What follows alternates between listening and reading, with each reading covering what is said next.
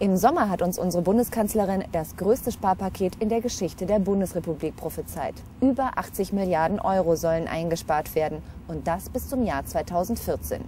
Vizekanzler Westerwelle hat hinzugefügt, 80 Milliarden Euro, das spart man nicht mit der Nagelschere weg. Stattdessen hat Schwarz-Gelb lieber gleich die Kettensäge angeschmissen.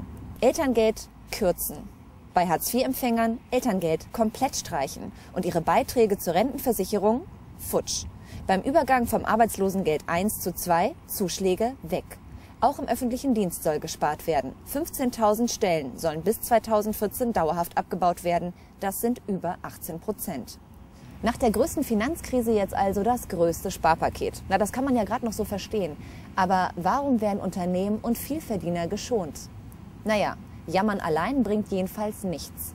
Besser ist es, die Politiker wachzurütteln. Heute, am 16. September, wird der Haushaltsentwurf diskutiert. Und hier, direkt draußen vor dem Bundestag, findet deshalb ein Modespektakel statt. Der Catwalk der letzten Hemden. Denn diese werden den Geringverdienern mit der schwarz-gelben Sparpolitik vom Leib gerissen. Meterlang flattert der Protest. Reiche besteuern statt arme schröpfen. Das ist die zentrale Forderung von gleich sechs Organisationen. Verdi, die Verdi Jugend, die Arbeiterwohlfahrt, Attac, Campakt, das Aktionsbündnis Sozialproteste und die Koordinierungsstelle gewerkschaftlicher Arbeitslosengruppen. Sie alle haben die Aktion gemeinsam organisiert.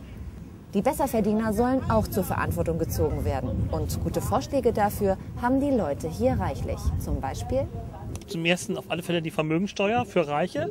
Gar keine Frage. Die Reichen selber haben ja diese Steuer schon vorgeschlagen, dass sie erhöht werden soll.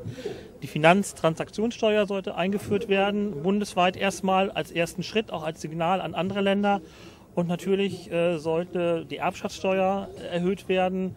Das sind so einige Vorschläge. Eine Millionärsteuer. Selbst Reiche sind da ja dafür. Und dann vielleicht doch auch noch mal irgendwie den Börsenhandel in den Blick zu nehmen und da tatsächlich irgendwie Besteuerung auch ja, einzuführen. Meine Tochter ist noch sehr jung, sie macht eine Ausbildung, sie plant auch ein zweites Kind.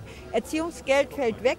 Wenn sie jetzt in, in, in die Schwangerschaft geht, sie bekommt Hartz IV, sie bekommt dann kein Erziehungsgeld mehr.